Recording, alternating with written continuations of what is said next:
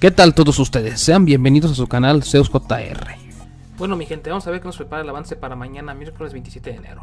Bien, mañana tendremos un duelo más peleado que nunca, porque los rojos saldrán más enfocados en ganar este desafío, porque no les fue muy bien en su inicio, así que para esto pondrán su mejor esfuerzo para poder lograr su primera victoria en contra de los azules. Pero los azules también saldrán con todo para lograr vencer otra vez a los rojos, para así sumar su segunda victoria de esta primera semana y para esto pondrán todo de ellos, para conseguir su cometido y aparte saldrán con una ventaja más. Y es porque ellos se encuentran en la fortaleza, donde pudieron descansar mejor que el equipo rojo. Así que esto puede ser una gran ventaja o también puede ser una gran desventaja para ellos. Porque recordemos que cuando entran en la casa, tiende el equipo a confiarse por ganar por primera vez este enfrentamiento de la fortaleza en su inicio. Así que si no quieren perder los azules tendrán que salir bien enfocados en lograr ganar otra vez y si no los rojos les ganarán, porque ellos saldrán con todo para llevarse este enfrentamiento. Bien, a que no sepamos qué se pondrá en este juego, se ve que va a ser algo bueno, porque vemos que todos ellos están emocionados. Y este sabemos que en este reality siempre dan buenos premios, así que vamos a ver de qué se tratará esta vez. Pero aunque no conozcamos qué será el premio, se sabe que es muy posible que los azules se lleven otra vez este reto.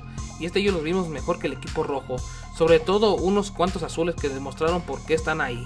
Y como les dije, estamos empezando la semana de, adaptación en ambos equipos, así que se espera que más adelante se vean mejores batallas. Pero aquí lo que llama mucho la atención es de cómo serán las eliminaciones el domingo, porque estamos empezando esta quinta temporada. Y este recuerden que se cambió todo el formato de producción, y tal parece que esto apunta a que va a ser una eliminación de tres participantes presentes, tal y como lo vemos en el Hexaclón México, donde si llegara a pasar así, sería una competencia de eliminación muy interesante, pues ahí las tres que estarían presentes deberán competir para ganar su puesto de quedarse con su equipo por más tiempo, siendo un formato muy entretenido. Y sobre todo, esto también les cuenta mucho a los que se encuentran en las tres posiciones de bajo porcentaje, porque ellos deben que poner su mejor esfuerzo para no estar presente en ese juego de los domingos. Y se llegara a poner este formato de estar tres presentes en el juego de la eliminación. Pero bueno, ahora bien, pasemos a hablar del siguiente tema. Y este saben, el día de ayer tuvimos el gran inicio de esta feroz batalla, después de estar esperando una larga espera para ver este Hexaclón quinta temporada, donde conocimos a todos los competidores que formarían a los dos equipos, y entre esos 24 guerreros se encontraban 12 competidores de temporadas pasadas, que venían por su revancha, donde iban a poner lo mejor de ellos para poder convertirse esta vez en el campeón absoluto de esta temporada número 5.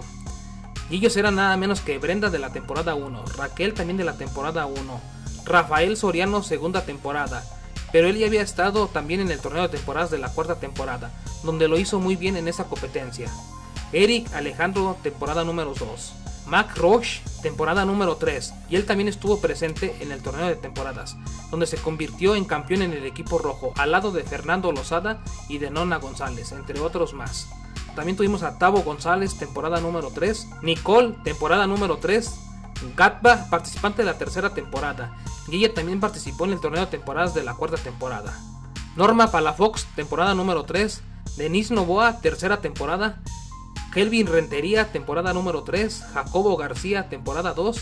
Así que estos fueron los 12 participantes que regresaron para lograr por fin el triunfo de quedarse como campeones. Y vamos a ver si lo logran. Pero aún así también tuvimos la presencia del conductor Frederic, que estaba reemplazando a Erasmo Provenza, donde era normal que él fuera el conductor de esta temporada, porque lo hizo muy bien cuando él sustituyó a Erasmo en la cuarta temporada. Así que para esto, producción volvió a regresar otra vez a Frederic para que él narrara estos juegos esta vez. Y a pesar de esto, en este primer inicio él lo hizo muy bien.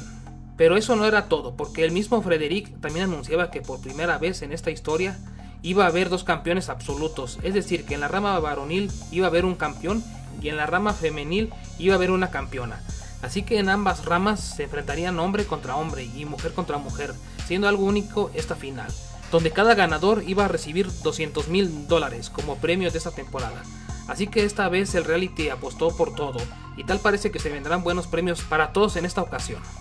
Y en mi punto de vista, esta doble coronación se me hace más justa que nada, porque recordemos que desde la temporada 1 ha habido enfrentamientos entre mujeres y hombres, pero eso era muy injusto para ellos, porque ahí solo se coronaba un solo campeón, y este les digo que era injusto porque todos los que estuvieron en la final y no lograron ganar se merecían algo más. Y este ahí los ganadores fueron Marisela Cantú, que le ganó a Kenny Ochoa, donde ella fue la primera campeona de esa primera temporada. También tuvimos a Valerie Sofía, que también le ganó a Jacobo. Y la tercera temporada, pues el ganador fue el Venado Medina. Al ganarle a Sheila Pérez, mejor conocida como la maquinita. Pero esto cambió todo después de la cuarta temporada, porque la subcampeona sí ganó premio. Y esa fue nada menos que Nona, que ganó 50 mil dólares por haber llegado hasta la final, donde ella no pudo ganarle a Ney. Pero sí tuvimos un grandioso enfrentamiento entre ellos dos.